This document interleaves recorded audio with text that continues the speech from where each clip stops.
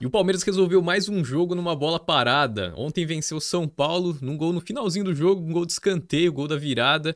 Agora, a grande questão é a seguinte, né? O Palmeiras já cansou de mostrar sua força na bola parada. E já foi assunto aqui de outras análises também a forma como o Palmeiras consegue alimentar essas bolas paradas, né? O que foi curioso foi que no jogo de ontem contra o São Paulo, isso ficou muito evidente. Só para você ter uma noção, até o minuto 35, que é esse lance aqui, né? 34 minutos do segundo tempo, o Palmeiras tinha tido apenas um escanteio. E do minuto 35 até o final, né? Que sai o gol lá no escanteio, no minuto 50 e tantos, já nos acréscimos, o time teve seis escanteios nesse intervalo. E tem tudo a ver com a forma como o time tentava atacar o São Paulo até o minuto 35 da segunda etapa e depois no finalzinho do jogo. E atrás no placar, o Palmeiras promoveu algumas mudanças. Por exemplo, o Dudu foi jogar um pouco mais recuado pela esquerda. Ele começou o jogo aberto bem pela direita, como ele costuma jogar. É, e no segundo tempo, contra o São Paulo, ele veio jogar aqui mais por dentro, pela esquerda, um pouco mais recuado. É, entrou o Mike também, né? E aí o Gustavo Gomes voltou a ser defensor. Então, o time teve várias alterações, mas todas elas indicavam em um sentido só. O time passou a explorar muito mais, tanto as jogadas de profundidade, com o Dudu lançando o Rony nas costas da defesa, depois a entrada do Breno Lopes, o Navarro, mas principalmente a descida dos dois laterais simultaneamente. Então, você tinha o Mike descendo pela direita e o Piquerez pela esquerda.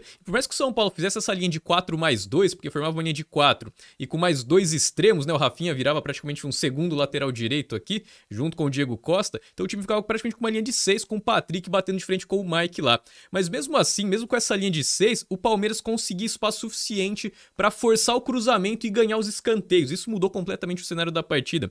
Dá uma olhada nesse lance. Pode perceber que a linha defensiva tá bem postada, então não existe superioridade numérica, mas existe um pequeno espaço. O Piqueires ele tá bem aberto aqui com bastante amplitude, e esse pequeno espaço é o suficiente para o jogador dominar e forçar o cruzamento. Ele não quer muita liberdade no dia da jogada para fazer um cruzamento completamente limpo. A gente já cansou de ver isso em outras análises. O Palmeiras quer forçar aqui para ganhar o escanteio, né? Então o Dudu vai abrir a jogada aqui com o Piqueires.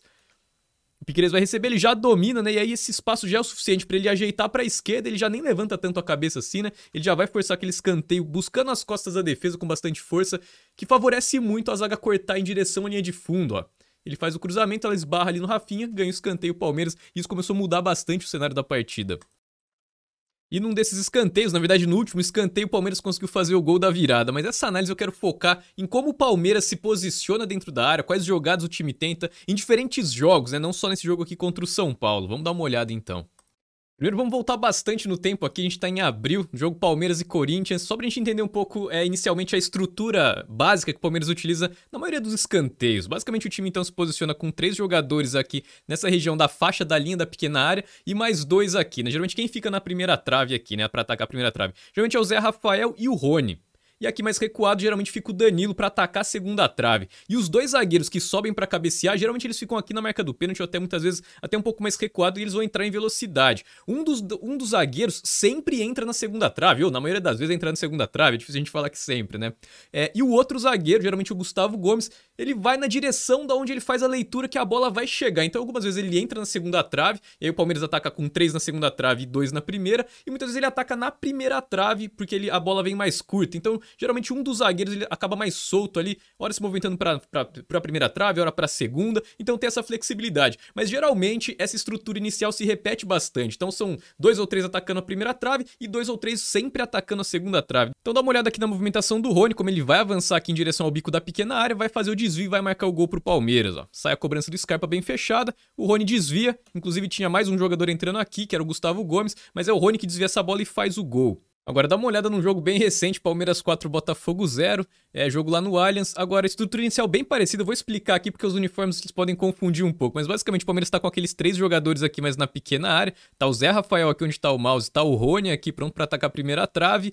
É, se não me engano, acho que é o Gabriel Menino que tava jogando nesse jogo. E os dois zagueiros mais recuados aqui, né? Você tem o Luan e o Murilo, ou Luan e Murilo. E vai sair aquela primeira, aquela bola na primeira trave. Agora a questão é a seguinte: essa é uma jogada que o Palmeiras vem fazendo há, há, há muito tempo. Quando a gente viu em abril já tinha feito essa jogada, antes já tinha feito essa jogada, enfim. Esse é só um exemplo pra gente ilustrar aqui. Mas dá uma olhada como o Rony ele tá completamente livre. Ninguém do Botafogo tá fazendo encaixe e marcação individual nele, e muito menos fechando o espaço que ele vai atacar. É óbvio que o Rony vai atacar essa primeira trave. Então dá uma olhada o que, que vai acontecer, ó. Sai cruzamento fechado, o Rony completamente livre sobe e marca o gol pro Palmeiras. Inclusive no jogo contra o Atlético Goianiense tem um gol que não é diretamente um gol de cabeça do Rony na primeira trave, mas nasce disso, né? No, o, o, Gustavo Gomes faz no rebote. Então, ó, o Rony ele, vai, ele tá aqui, mas no meio, e adivinha o que ele vai fazer? Vai correr para a primeira trave. O Atlético Goianiense tinha uma marcação relativamente encaixada, o espaço estava mais congestionado ali. Mesmo assim, o Rony corre, tem uma boa impulsão, consegue desviar a bola na primeira trave ali direto pro gol, né? Não lá na segunda trave. O goleiro acaba soltando e o Gustavo Gomes entra livre ali faz o gol do Palmeiras. E nesse jogo contra o Corinthians teve um lance bem parecido, inclusive foi o primeiro gol do Palmeiras. A estrutura é a mesma, né? Os três jogadores aqui que eu expliquei aqui na linha da pequena área os dois zagueiros prontos para avançarem, né? Dá uma olhada no Gustavo Gomes, como ele vai caçar a bola, ela vai curta na primeira trave, ele vai na primeira trave então e desvia e faz o gol. Muito parecido com o segundo gol também que o Rony desvia, né? Ó, sai o cruzamento, ó, Gustavo Gomes desvia e marca o gol pro Palmeiras. Lance do jogo contra o Bragantino, a câmera não é das melhores, porque a gente não consegue ver o principal com suas movimentações dentro da área, mas agora, como você já entendeu a dinâmica, a hora que abrir a câmera aqui, você vai perceber tudo o que aconteceu. O Scarpa vai bater mais curto aqui na primeira trave, ó. Ele vai fazer a cobrança. Agora eu vou dar um pause bem na hora, só pra gente ver aqui quantos jogadores. Ó, tem um, dois, três jogadores aqui atacando a primeira trave. Acontece um desvio aqui, é, infelizmente não dá pra ver quem é, né? A imagem tá bem ruim. Mas lá na segunda trave tá entrando o Danilo, então dá uma olhada no que vai acontecer, ó. Sai o desvio bem aqui no meio ela sobra pro Danilo e ele acaba errando o chute. Se não me acho que era o Rony até aqui que fez o desvio, né? Mas enfim, mesma estrutura de jogada. Aqui o segundo gol do jogo contra o Atlético Goianiense, três atacando a primeira trave, dois a segunda, mesma movimentação, só escanteio na primeira trave, desvio e o Gomes passa lá no segundo para marcar. Esse ângulo aqui dá pra gente ver melhor. Então estão os três aqui atacando a primeira trave. Aqui quem tá fazendo o desvio é o Luan, o Rony tá ali, né, sempre ali na primeira trave, e você tem o Murilo também. Só que nesse, nesse jogo aqui o Palmeiras estava jogando com o Gustavo Gomes mais aberto, né, como um lateral direito. Então você acaba tendo três zagueiros, né, ou três jogadores muito fortes no jogo aéreo, e aí você é, jogando com o Gustavo Gomes, então de lateral direito, é uma forma de não só é, ter uma segurança defensiva maior, ter alguma alternativa é, diferente é, com a bola rolando, mas principalmente com a bola parada, que aí você tem três jogadores muito fortes ali é, no jogo aéreo. Então é o Luan que desvia essa bola, pode ver dois atacando aqui a segunda trave, três na primeira, e aí sai o desvio e o Palmeiras marca o gol.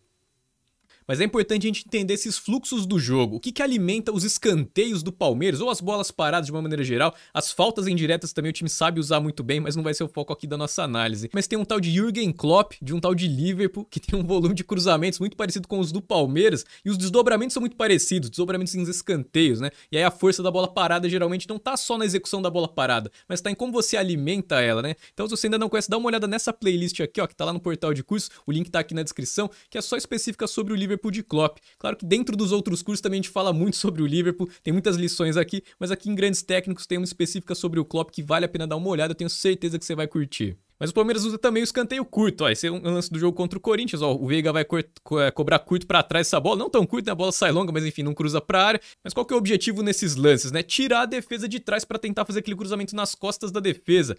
E o próprio Veiga vai saindo do impedimento, ele recebe e já vai fazer o cruzamento ali buscando as costas da defesa. Outra jogada que o Palmeiras repete bastante. E aqui no jogo contra o Botafogo, lance bem parecido, ó, vai sair o escanteio aqui para trás, o Atuesta estava em campo aqui, né? Ele faz o passe ali para trás ele já vai sair aqui do impedimento, vai se movimentar agora nesse momento. Perceba a linha defensiva saindo, né? Deixando aquele espaço nas costas da defesa. Então é importante, pela esquerda, geralmente é o batedor canhoto que faz isso, ou Veiga, ou Scarpa. E pela direita, quando tem algum batedor destro, né? No caso aqui o Atuesta. Isso porque fica mais fácil, né? Com a perna boa pro lado de fora, você consegue colocar a curva certa aqui para buscar esse espaço nas costas da defesa. Então também é um escanteio é, que o Palmeiras usa bastante, ó. Sai cruzamento, a zaga do Botafogo consegue neutralizar.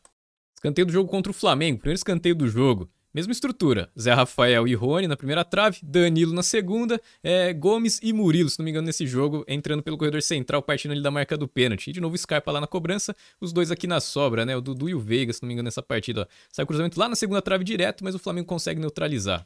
Mais um lance aqui do jogo contra o Flamengo. Na maioria das vezes o Palmeiras consegue criar pelo menos uma ou duas chances na bola parada, né? Principalmente nos escanteios. Agora, quando não consegue criar, não é por conta das movimentações. As movimentações de fato conseguem criar vantagem. Então é aquela coisa, né? Por mais que o seu adversário saiba o que você vai fazer, se você for muito bom naquilo, dificilmente o seu adversário vai conseguir te parar. É, geralmente tá na cobrança. Geralmente quando o Scarpa não tá num dia bom, não tá acertando o cruzamento, aí de fato essa jogada perde bastante potencial. Essa que viaja demais, vai muito aberta, não coloca ninguém em vantagem para brigar pela primeira bola na primeira trave e nem na segunda. A zaga consegue neutralizar. E de fato, nessa partida contra o Flamengo, o Scarpa não estava na sua melhor noite. Vai tentar aquela jogada de cruzamento para trás, né? cruzamento curto para sair para tirar a defesa de trás, né? E ele acaba demorando para sair. E aí o que acontece? Bandeirinha pega o impedimento. Ele demorou para sair, quando a bola sai nele, ele ainda tá em impedimento. Então, basicamente, é uma jogada que depende muito do Scarpa e ela tem sido muito eficiente por conta do bom aproveitamento dele, então a gente tem que dar os méritos também. E aí existe uma outra jogada também que já tinha resolvido o título paulista. Eu já tinha mostrado na análise da final do Paulista é, aquele escanteio que o Palmeiras usou no segundo jogo, que é esse escanteio curto, mas com a perna invertida, né? Com o canhoto batendo pela direita. E qual que é essa jogada? É, no jogo contra o Bragantino o time usou. Então sai escanteio curto aqui para trás, ele já vai saindo em velocidade aqui, não tá impedimento dessa vez. Se não me engano, aqui é o Mike que vai devolver para ele.